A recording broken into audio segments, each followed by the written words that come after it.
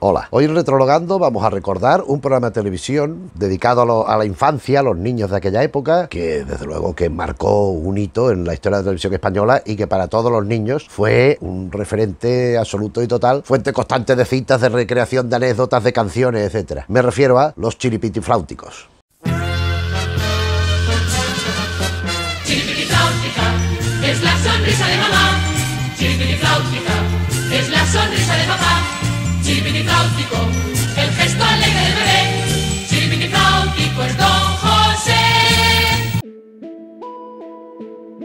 Los chiripitifláuticos es una serie, bueno, una serie, es un programa, sí, puede decirse que es una serie, dedicada a la infancia, donde se combinaban una serie de cosas. Se combinaba un- una historia de aventuras, donde se incluían muchísimos momentos de humor, algún momento de romanticismo, como veremos, algún también alguna rivalidad, siempre había uno- unos buenos y unos malos determinados, pero después había otros malos que eran más malos que los malos.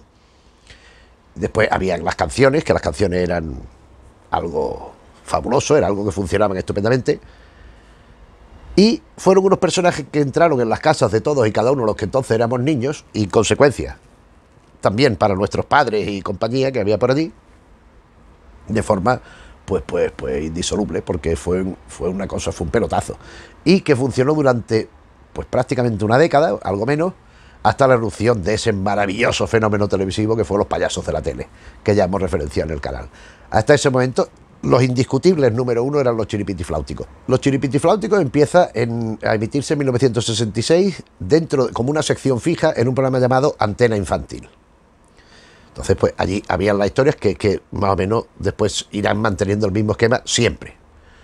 Eran fragmentos, eran capítulos, eran secciones de unos 30 minutos escasos, donde ah, se producían historias que normalmente eran de continuará. O sea, eran historias que se componían de varios capítulos, por lo general muchas veces de una semana, es decir, de cinco capítulos, se emitía de lunes a viernes, y que respondía, ya digo, a un esquema de una historia que, que ahora comentaré. La serie se debe a un realizador argentino, Óscar Vanegas, especializado en programas de variedades, que aquí en España hizo, por ejemplo, tengo aquí apuntado, Sábado 65 fue su debut en televisión española, procedía de la televisión argentina, que Sábado 65 ya funcionó bien. Otros programas que hizo fue Nosotros, 1968, simultaneando con los chiripitifláuticos ya, en un programa que donde intervenían Manuel Martín Ferrán y Alfredo Amestoy, pues bueno, de prensa. Después otro Tarde para Todos fue otro de sus programas, pero el gran pelotazo lo pegó con los chiripitifláuticos. Chiripitifláuticos que, que, bueno, pues que ya digo, fue una, historia muy entrañable, una historia muy divertida y unos personajes pues muy bien hechos, muy bien interpretados y muy bien llevados por, por, por el, por el realizador y por el medio. El programa se inicia, como digo, en antena infantil en 1966. A partir de cierto momento hay una inflexión, aparte de que tienen programa propio, los chiripitifláuticos, con su sintonía y con todas sus su interioridades.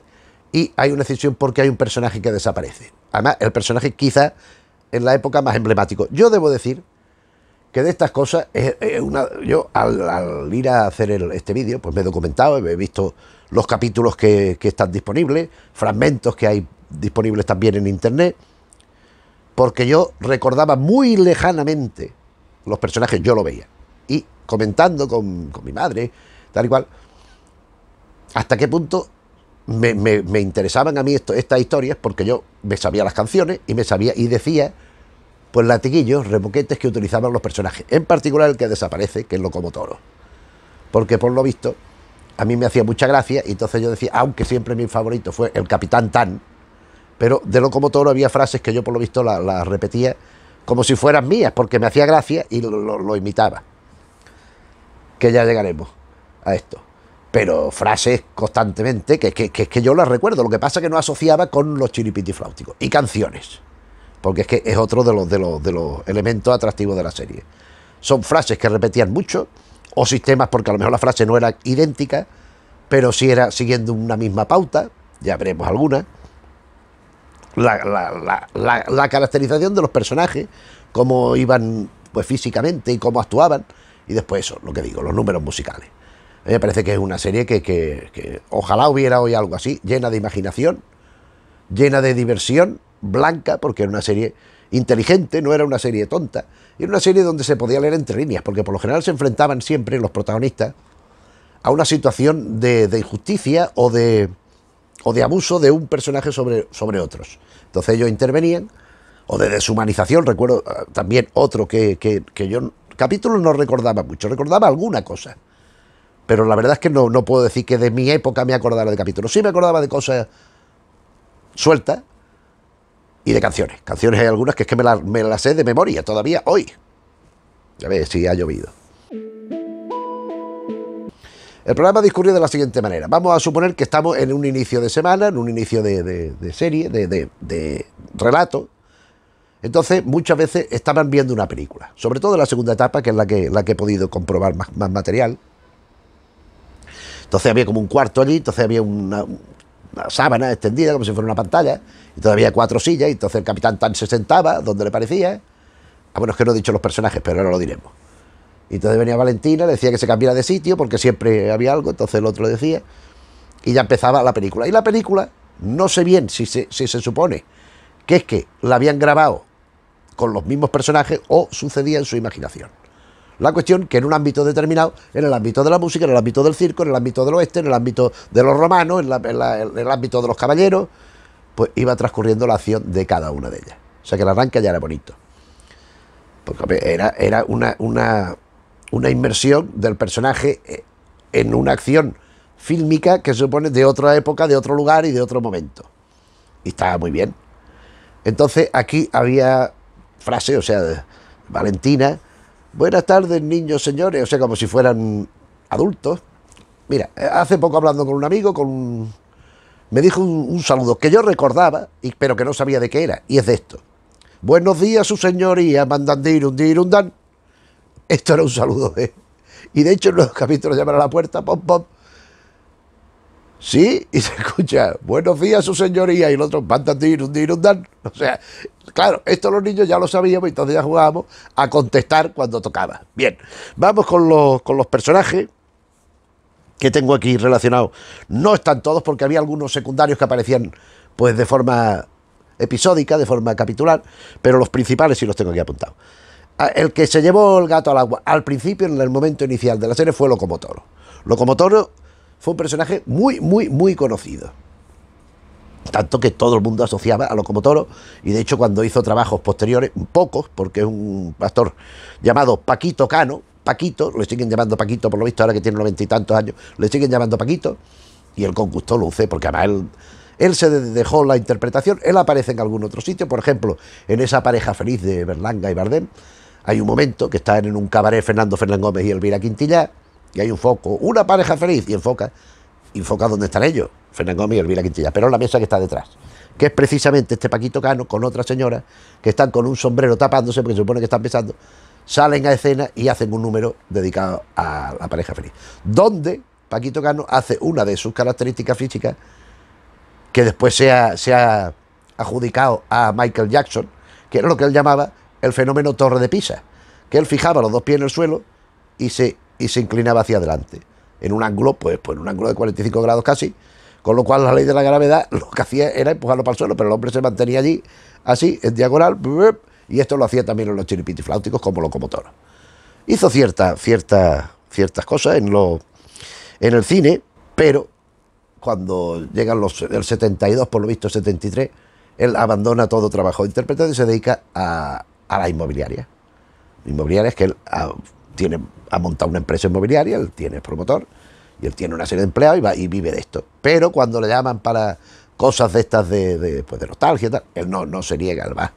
Y va muy a gusto y además sigue siendo un hombre muy divertido. Este personaje iba con una camisa de cuadros, con una boina, que por lo visto, eh, según he leído, era roja, pero decían encarnada porque roja no se podía decir porque ya se asociaba con el comunista. Pero daba igual porque las telas eran en blanco y negro, con lo cual no había forma de saber de qué color era aquello. Una camisa de cuadros y un peto. Entonces él se suponía que era locomotoro, conductor de todo menos del codo. Eso eran las definiciones que eran muy propias de los personajes. Entonces, era un personaje que iba diciendo frases y que hacía cosas casi siempre, buscaba al guionista, provocar la situación para que ocurriera, que era muy graciosa. Por ejemplo, cuando él se ponía contento y se reía, decía siempre, que se me mueven los mofletes, porque cada- se reía. O después cuando hacía el reparto, tenían que repartir algo, entonces, si había algo que a él le interesaba, todos para uno, que era él, todos para él. Y si era de los otros, era uno para todos, de la siguiente manera. Uno para ti, uno para mí. Uno para ti, dos para mí. Uno para ti, tres para mí. Entonces lo que pretendía era quedárselo todo. Pero a mí la frase de, de, estas, de este personaje, de esta serie, que yo decía como mía, que yo iba contando por ahí cuando hacía algo que, que tenía más o menos éxito, que me salía más o menos bien, decía que soy más pirindolo. Y eso era de los, de locomotoros. Soy más pirindolo. Ya ves tú lo que, lo que quieras que signifique eso. Pero a mí me hacía mucha gracia, me gustaba mucho. Y por lo tanto, pues lo, lo asumí como mío, lo iba alargando por allí cuando era pequeño, claro. Este personaje, pues, pues, no sé por qué razón, desapareció de la serie y en este momento, años 70, y 70 71 quizás, aparece en una revista llamada, en las revistas del 71, estos números, El Cuco, donde había unas historias de tal, estaba Cruz Delgado, también colaboraba con historietas y tal, y había una, una página, cada número, que eran los chiripitifláuticos, donde estaban los principales, los, los cuatro principales, locomotor era un niño, no era un hombre como aquí, era, aquí era una especie de hombre popular, de hombre rural, con la boina y tal, en los TVO era un niño. Lo que pasa es que el dibujante, pues tampoco distinguía muy, muy bien entre mayores y, niños, pero suponía que era un niño. Valentina y Capitán Tan eran adultos y el tío Aquiles era un hombre anciano. O sea que había esa variación, pero fíjate tú la popularidad para protagonizar su propia página de TVO en, pues, en una revista que se iba publicando. Bien, para mí el segundo lo importante es que, como he dicho antes, era mi favorito, era el Capitán Tan. Capitán Tan, con su gafas, con su salacot, con su camisa de rayas, siempre por allí dispuesto a estar cantando, era un hombre corpulento, era un hombre fornido, y que siempre, cuando iba a alargar el rollo, que normalmente no le dejaban seguir, él decía, en mis viajes a lo largo y ancho de este mundo, y ya le cortaban ahí, no le dejaban decir lo demás que iba a decir, y siempre le cortaban el rollo. Era un personaje que, que muchas de las canciones, muchas, las interpretaba él. Esto, este, este, este personaje lo interpretaba Félix Casas, que era un hombre que falleció en 2020.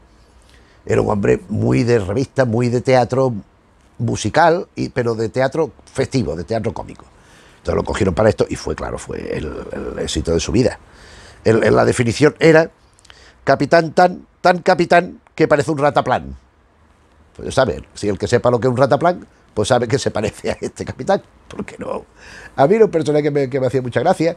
Siempre era un personaje risueño. Siempre, todos eran bastante risueños.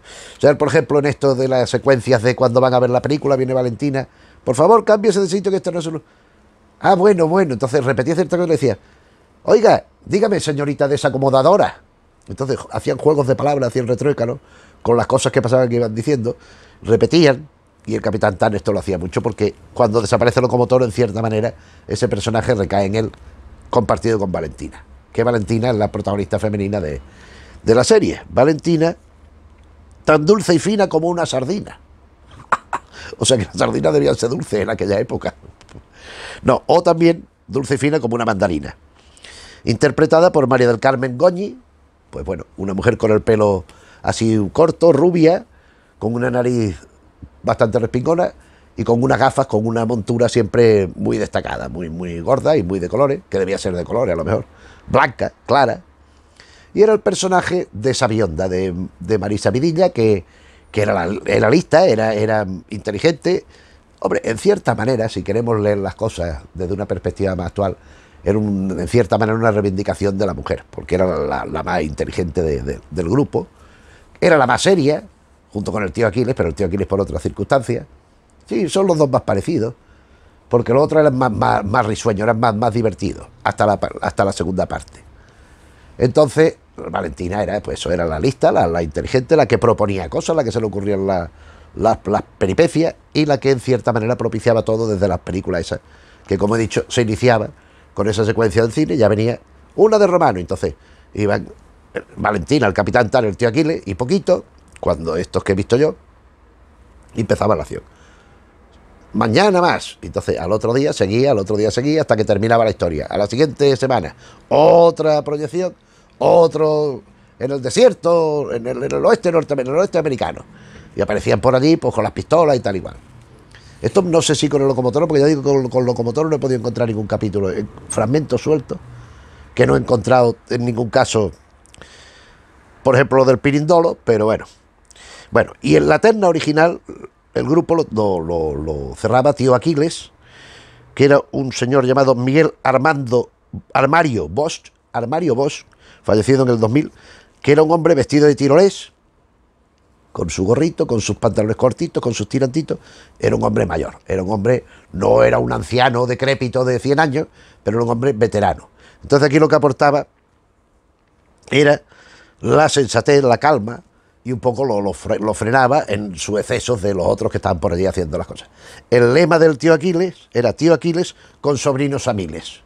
Yo el tío Aquiles lo único que recuerdo era un señor que siempre estaba callado. O sea, esto, mis recuerdos de entonces, como el capitán Tan, yo me acordaba que era muy dicharachero y estaba siempre por aquí por allá. Valentina siempre. Pues el tío Aquiles yo lo recuerdo siempre callado. Viendo todos estos, que, estos materiales que he recuperado, que, que están en Radio Televisión Española, en YouTube, en nuestros sitios. Ya he visto que hablaba, pero yo no me acordaba de su voz, la verdad. Y este grupo principal se completaba con los dos rivales permanentes que siempre eran los mismos y que aunque a veces se añadían otros, pero estos siempre estaban, que eran los hermanos Malasombra. Los hermanos Malasombra, que eran dos, uno gordito, parecido un poco a Oliver Hardy, con gafas y un bigotito pequeño, y otro con un bigote grande. Iban siempre vestidos del- de, como de vaqueros, de pistoleros, negros. Que a veces había los hermanos Buena Sombra, que era lo mismo, eran los mismos, ellos mismos, pero vestidos de blanco en vez de de negro. Y estos eran los malvados, estos eran los que siempre iban a hacer la puñeta, por ejemplo, estaba el capitán Tan, o no, era poqui- poquito, está con, con Barullo haciendo un muro, van a descansar y vienen los hermanos Mala Sombra y le quitan los ladrillos y le echan abajo el muro por, la- por, por hacer la puñeta, no era por nada, como ellos mismos reconocían en- cuando hablaban de sí sobre todo en su famosísima canción, a la que cuando hablemos de las canciones remitiremos. Estos personajes los interpretaban Luis González Páramo y Carlos Meneghini. Eran los dos hermanos Mala Sombra. Este era el elenco principal de toda la serie. Locomotoro desaparece y se incorporan tres personajes más, tres personajes que no vienen a hacer ninguno de Locomotoro, pero vienen a cubrir pues, pues, el hueco que deja aquel personaje tan entrañable y que tuvieron la, la- la- la inteligencia y la sabiduría de no intentar repetir, porque si ponen a otro señor haciendo algo parecido a Locomotoro hubiera pegado la hostia seguro, porque Locomotoro era muy característico además, la forma de mirar, la forma de, moverse, la, la voz, la forma de hablar. Entonces hubiera sido un error intentar imitarlo. Entonces lo suplieron con otros tres personajes fundamentales, aunque uno a veces se desdoblaba. Por un lado estaba Poquito, Poquito que era un payaso de circo, era el que llevaba la- la- las tramas románticas, él se enamoraba enseguida de cuando aparecía una chica allí, ya estaba enamorado dándole la pasión. Era un payasito muy, muy sentimental, muy, muy, muy noble, muy cariñoso, interpretado por Nicolás Romero, que es un actor que en teatro pues ha tenido bastante recorrido, no como actor principal, pero sí y como guionista también. Y que yo recuerdo, por ejemplo, La venganza de Mendo, la, versión que hace Saza, que dirige Gustavo Pérez Puig, que protagoniza José Saza Torres Saza, el, el juglar que al principio cuenta la historia es Nicolás Romero. Después estaba Barullo, interpretado por José Santiago Ramírez, que era un niño negro, era un niño de color, que aparecía por allí y que, que hacía travesuras. Barullo, pues Barullo. Pero que a to- todos lo, adoraban, además era un niño que, pues, que era muy gracioso, era un niño muy suelto y que tenía mucho, mucho muy pispireto y muy, muy gracioso y que contribuía en sus historias, que no... Y el último de, esta, de estas nuevas adquisiciones, de estas nuevas incorporaciones, era el que se desdoblaba, que digo que era Fileto. Fileto era un romano de la época de los romanos. Todos estos, estos personajes, el Fileto y el poquito tal, son que se quedan después de una acción en el circo. Pues donde estaba poquito, que el dueño del circo lo trataba mal, y no sé qué, entonces se iban con los chiripitifláuticos. Iban a la época de los romanos, conocían a Fileto por allí, pues se lo traían también. Fileto era una especie de, de- de romano raro, que iba con una túnica, con la, con la corona de laurel, siempre con un bigote, un bigotón. Y hablaba una especie de, de- de latín italiano macarrónico, y después iba con un león de peluche, un león de peluche, pues grandecito, que obedecía, se supone, al bonito nombre de Leocadius Augustus Tremebundus, que esto también nos acordábamos mucho. El Leocadio Augustus Tremebundus era muy conocido y era un peluche que no hacía nada, claro. Eh, se quieren llevar a Leocadio Ah, y ya lo tienen que rescatar, lo que fuera. Pero era otro personaje que añadía pues otra faceta a la, historia. Este era el elenco de la segunda etapa, completado por el Capitán Tan, por Valentina y por el tío Aquiles, que después tenía una serie de actores y actrices que iban apareciendo por allí. No había muchos muchos personajes recurrentes, aparte de los mencionados, pero aparecían gente que fueron conocidos. Por ejemplo, aparecía Tony Valento, como un jefe de bandidos. Casi siempre hacían malos. Buenos había pocos. Alguna chica que se enamoraba poquito de ella, tal. Y después, por ejemplo, aparecía el inmenso, el grandísimo Alfonso el Real, que a mí es un hombre que me merece una admiración sin límite de lo extraordinario que era, que hacía el dueño del circo, aquel en el que trabajaba poquito y que, lo, era un tío muy, muy malo. Pero esto eran pues contribuciones para completar las historias que estaban hechas, que los guiones lo hacía este mismo hombre que hemos dicho antes, este Oscar Vanegas, que a su vez era el autor de las canciones, que eran otro de los elementos fundamentales de la serie. Yo me he hecho aquí una relación de las canciones más conocidas, no todas, porque hay más, por lo visto hay como una veintena de canciones. Entonces hay, la canción, hay una canción correspondiente a cada personaje, canción de Barullo, canción de Valentina, por ejemplo había la canción de Poquito, que venía, cuando yo era pequeñito, yo viajaba en un bolsillo, esa es la canción de Poquito. Después ya digo, había de, de otros personajes, de tal igual. Pero después había una, dos, tres, cuatro, cinco, seis, hay como seis, siete, que eran muy, muy, muy, muy conocidas. Se hicieron muy conocidas.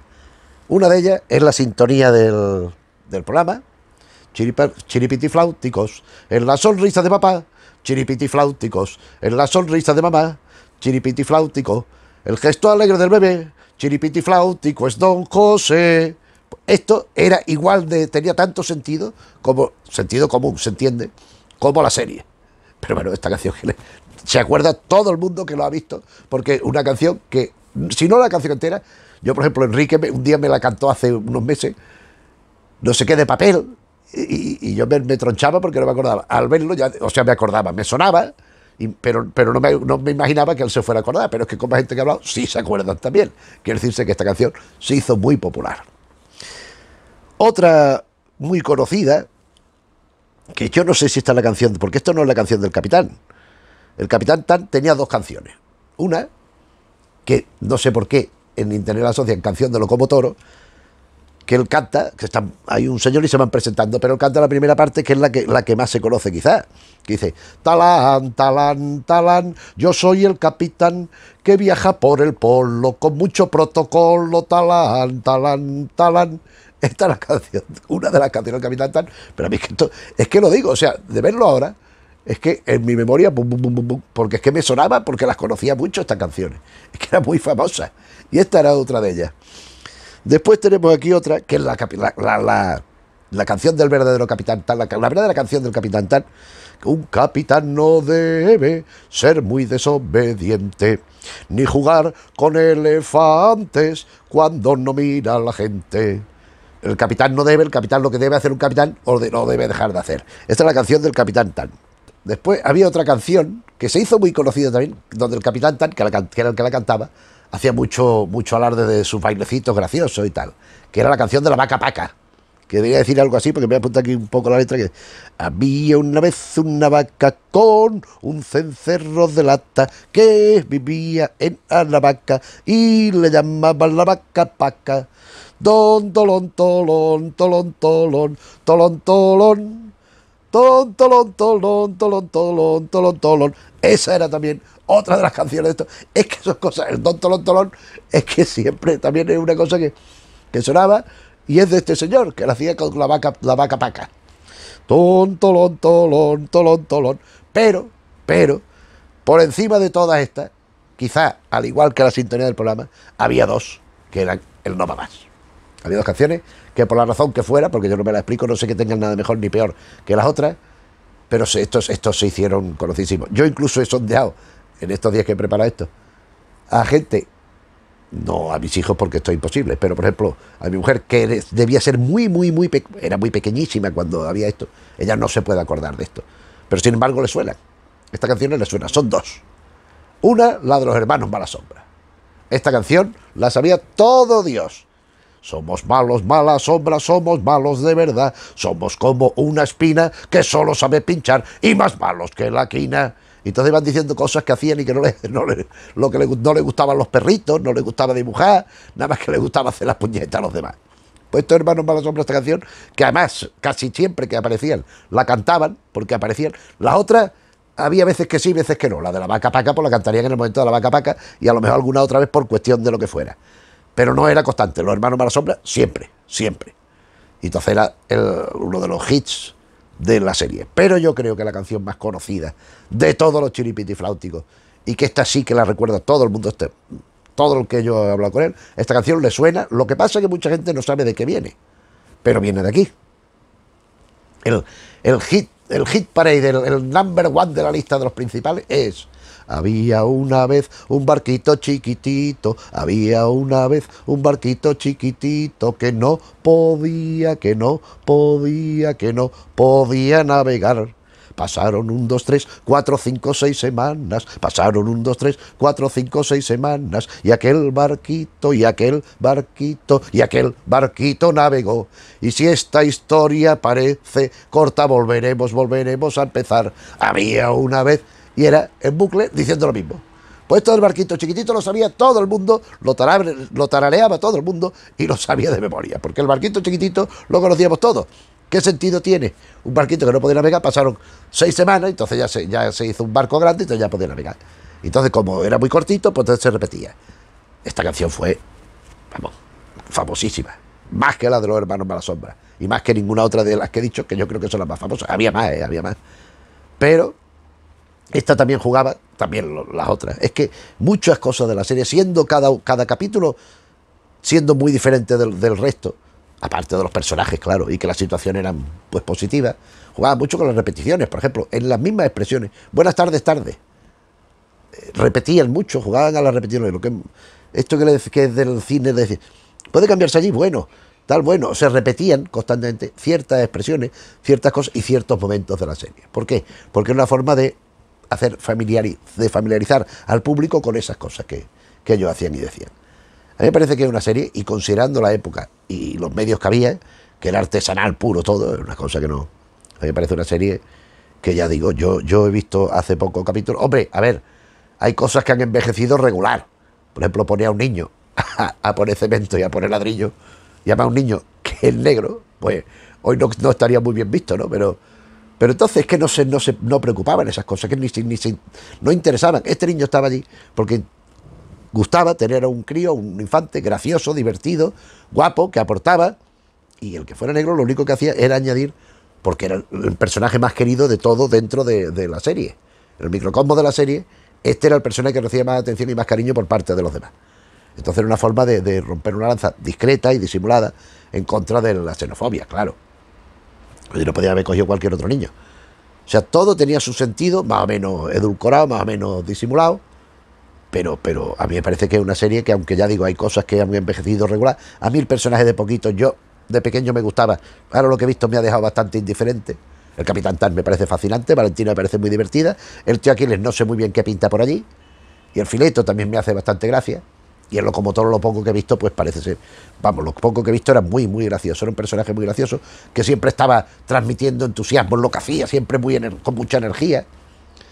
Y bueno, pues, pues hemos querido traerlo al canal, este recuerdo de esta serie, que a mí, ya digo, a mí me parece una cosa extraordinaria en tanto como, o sea, esto termina de emitirse en 1974, el programa de los chiripitifláuticos, o sea, son ocho años, desde antena infantil hasta el final de los chiripitifláuticos, porque no podía competir con los payasos, porque era una cosa, los payasos fue un fenómeno absoluto, y esto también lo era, pero claro, ya llevaban un desgaste de ocho años, cuando cesaron, o sea, quiere decirse que yo tenía nueve años. Como con 56 me puedo acordar de algunas de estas cosas, ¿no? Y acordarme también, porque algunas melodías porque las he visto, porque las he- Pero lo, del lo del pirindolo me acordaba perfectamente. Lo del Buenos días, señoría, lo de los hermanos Mala Sombra, lo del barquito chiquitito, es que esto no hace falta escucharlo en ningún sitio, porque me acuerdo. Entonces, dejó, dejó huella. Igual que yo, pues me imagino que muchos de, los que nos acompañáis, que seréis de, españoles, porque naturalmente esto se ve en televisión española, que seréis de nuestra quinta, pues esto seguro que lo que estoy hablando te suena y te, resulta familiar. Y bueno, pues eso es lo que hemos pretendido, recordar esto con esta vena de nostalgia de, de- de estas genialidades que se hacen en televisión, porque yo, otra serie que hablamos aquí, Cuentopos, con el gran Juan Diego, con Rosa León, con Tina Said, una serie de gente que había allí, que era una serie imaginativa al máximo, era una serie maravillosa, y otras que hablaremos en algún momento, porque hay mucho, mucho material estupendo. Lo que pasa es que, por desgracia, de esto no se conserva mucho. En su momento, pues aquellas cintas, pues servían, o sea, eran muy caras, grababan el programa, lo emitían, lo montaban y lo emitían, borraban la cinta, no la borraban, grababan encima otro programa, con lo cual el material que se conserva es pobre y es sobre todo poco y escaso. O sea, si esto está en ocho años y se conserva en íntegro, a lo mejor tres capítulos, pues, pues figúrate tú. A razón pues de que harían 39 episodios por año, una cosa así, porque me imagino que en verano no harían, porque harían vacaciones, pero en fin. Que esta serie, que, que es muy divertida, muy imaginativa, muy graciosa, muy imaginativa con unos medios muy precarios, pero que, que funciona estupendamente y que, y, que, y que en su momento fue un auténtico bombazo. Bueno, y eso es lo que hemos venido a contar. Y lo que hemos pretendido, pues recordar esta, serie tan, tan genuinamente española de la época, pero que, fue tan interesante. Pues nada, si el vídeo te ha parecido bien, le puedes dar al me gusta.